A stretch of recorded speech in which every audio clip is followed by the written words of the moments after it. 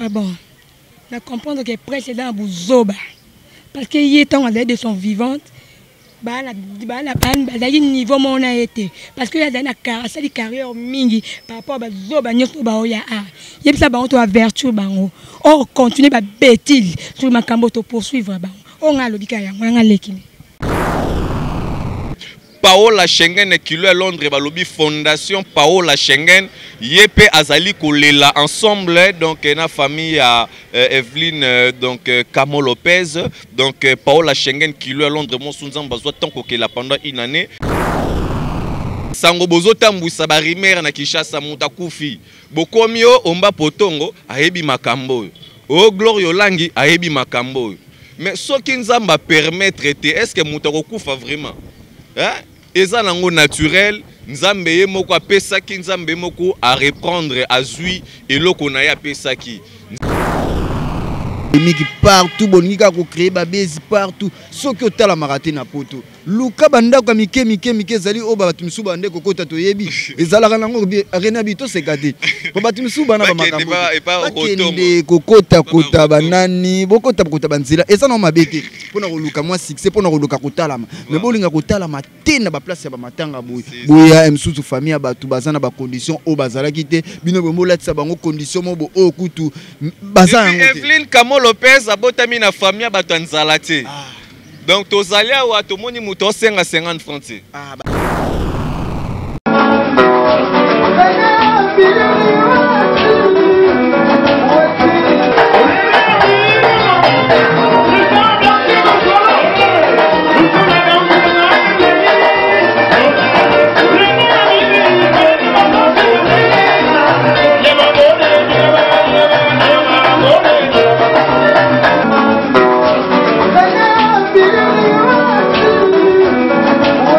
Notre cher ami fidèle internaute qui nous suit partout dans le monde sur 3W, Trace RDC News, donc René Abiri, je suis là en exclusivité. Awawa et Sikawa, puis Grande Sœur Nanga, donc Ndeko Nanga ya presse, Evelyne Camo Lopez, ou à Bande travailler na CBS, Tobi euh, Evelyne Camo. camarade ya ba, ya ba journaliste ebele Evelyne Kamo ndeko pe ya batu ebele une sœur moko azalaki vraiment bien et asali musala na ye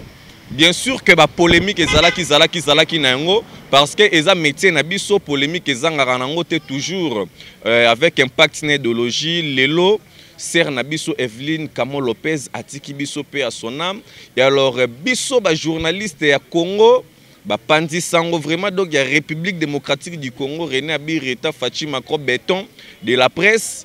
donc balobi pas question de bilobela bomonaka bino mona nsima na nga veut dire que awa ezali esika kamo lopez abande kofanda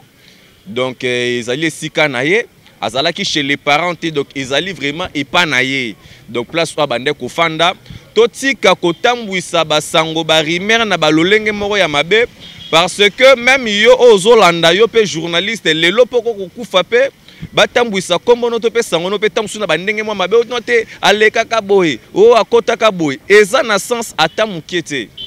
or toluka nde kutu tosala effort tomonaka baartiste comédien ndenge nini basanganaka mpo na kolela ndeko na bango artiste comédien bakotaka meme na bagrande administration mpo na koluka soutien ya ndenge nini balela ndeko na bango yango wana biso bandeko ya presse tolobi eh, kamo lopez ndenge azali wana tokolela ye na sanef te tokolela ye mpe na commune mpe te mais par rapport à spiritas tokolela ye fo ezala ata na stade velodrome fo tolela ye ata la palais du peuple parce que azali mopanzi sango fierité ya, jour, ya, ya, ya bajournaliste ya république démocratique du congo elvi eh, atikali kosala vraiment mosala na ye bien donc camo lopez avec impact na idéologie azali na esere moko bien chrétienne asambelaka alukaka vie na ye ndenge fille to alukaka vie na ye balobi mpe ya sonam toluka tosala mosala na lolenge moko boya malamu oyo esengeli oyo ekopesa merci mpe bien na bato nyonso tu ya mokili mobimba je pense que ya willi musheni koda mboka esika azali azalaki vraiment touche makasi parce que ya willi musheni azali parmi bagrand mécène oyo basoutenir bajournaliste bazali ba parmi bato oyo bako participer merci beaucoup encore na initiative ya malamu mama denise nyakeru azwi donc alobi cette fois-ci akolela nde na bajournaliste je pense ka na lupango tozawa tokomona mama koya akobeta tour merci beaucoup à toi dani bokombe tsunami balobi penepene toujours ya la première dame mosala eza kosalema kitoko correct ozalaki kuna na mbandaka yalaki tombe mboka babokechu premier donc euh, fabien boboketshu tout bakimaki avec impact na idéologie mais na ndenge makambo yango tozolela balobi mama denise osala toujours baaction na ye avec impact na idéologie azolela na baoyo bazolela mpe aosepela na baoyo mpe bazosepela veut dire que ezosala vraiment mpasi mingi journaliste olongweno na micro no epai na bino oye koluka base no awawa ah, soki otalamaka te na internet eh, lokola babarezi banani bino bamosusu oyo botalamaka te na internet donc mpo otalama il faut oya wana lupangu ocree base na yo ya lokuta obandi kofilme batoilette obandi kofilme banini mais epa na bino moko nanu bosokolaka nanu na baplace oyo donc satike rido donc rido kua rido kua bazomono vraiment kuna nde na nsima ebele ba journaliste bawutaka kuna na bamingadi na bakati a ah, toza na bandal donc deuxième avenue après kimbondo makadame eza place, place ndeko na biso kamo lopez abandi ofutela avec impact na idéologie combien de journaliste bafutela kuna na bakimbatie kasuka mpo akoma ata na bandala fo aleka ata na bamoto afuta ba 15 000 francs mais alukaki vie na ye na ndenge moko ya kimia totika kotambwisa nkombo na ye Totika pe koloba que oh non te eh, ndeko na biso na mwasi komo ye nani? ndenge basango ba, bozotambwisa barimere na kinshasa moto akufi bokomi o omba potongo ayebi makambo oyo o gloria olangi ayebi makambo oyo mais soki nzambe apermettre te estce moto akokufa vraiment eh? eza nango naturel nzambe ye moko apesaki nzambe moko areprendre azwi eloko na ye apesaki nzambe moko atindaki ye na mokili nzambe ye moko mpo alobi no te a ah, kamo azonga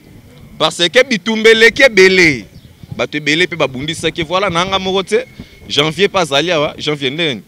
rene abiri voilà boni sante ouais sante pepele na ngolu ya nzambe kaka nde oyebi voilà tokuti yo mpe na matanga oye kotala ndeko na biso Evelyne Kamu. Ouais, matanga penda bayaka matanga ba pesa invitation te malgré biso par rapport à carte âgée, tu n'as mona na mona na notre te mais par rapport à journaliste,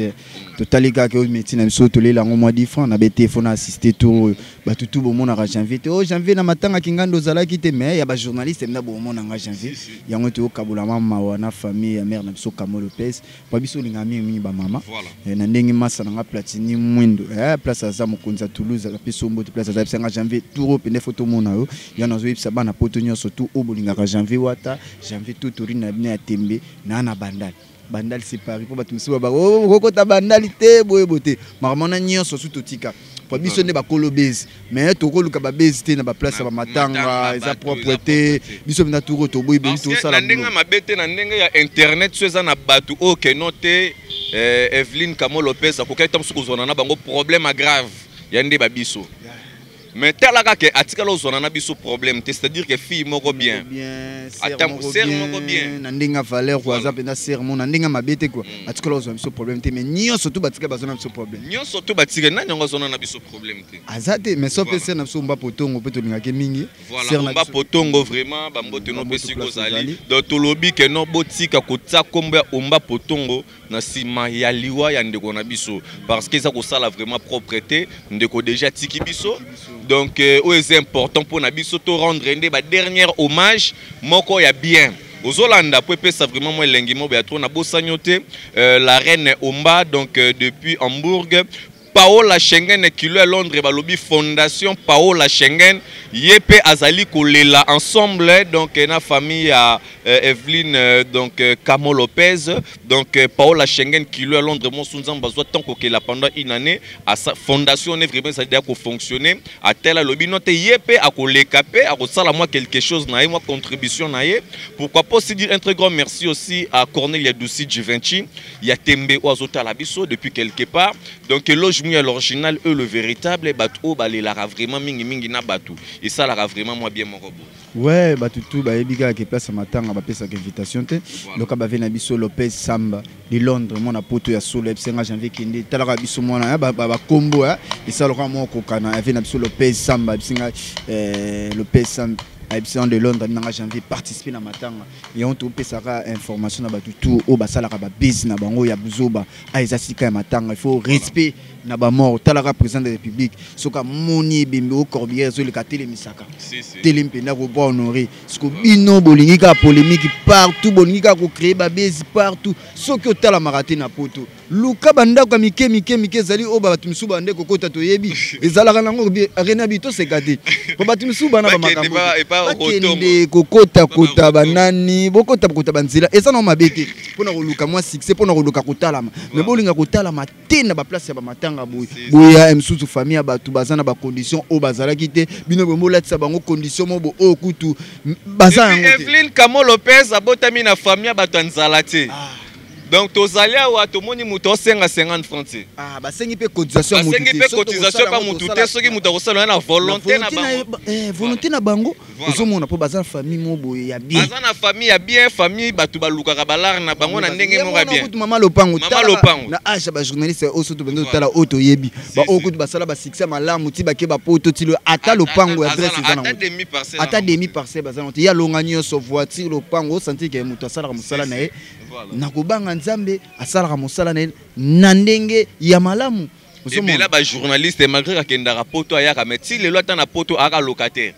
donakini mpe famille mabimba balocataire yo soloba kutu locataire m sukutu ah. afandaka kaka na nsima motu yo mona jeste nde banda kofilme ebele me bana poto na ndaka motu bazofilme yo ozomona oboyebake potokamu atika lopango na ye ozomona ve na biso lope esambi babi le bourgeois na kati ya londres place oza na piso bambote place oza na bosani te président gomez na kati ya brazzaville babi bientôt tokoya wana tokoleka kaka ndenge ezalaka masa na ngai eh, ya kati na bozomona eh, eh, héritier mvuki eh, bajoyeux anniversaire na yo si elekaki yoyebi kaka tozofete mpo eza kaka mwana yo bato tu oyo bolingaka biso bokomona biso na matanga ya camo lopez biso motu tozali apo eleka na ndenge bien biso nde tozali awa motu tu oyo akoya na polémique ayebake biso ko s'attaquer na ye voilà. Ba biso tobanga na biso mutu voilà. te biso pena franchement nayebi te platini mwendo eh, place oza eh, eh, nabosate mona biso bilamba mania wembo mania wembo la bière de luxe eh, mania wembo la bière de luxe ye pa lobe na nga pa kozala pe na dei oyo eza dei ya mutu nyonso tu babi mutu nyonso tu oyo ozalaka na mili po kamo lopeza afi ya mili a journaliste ayebani partout matanga oyo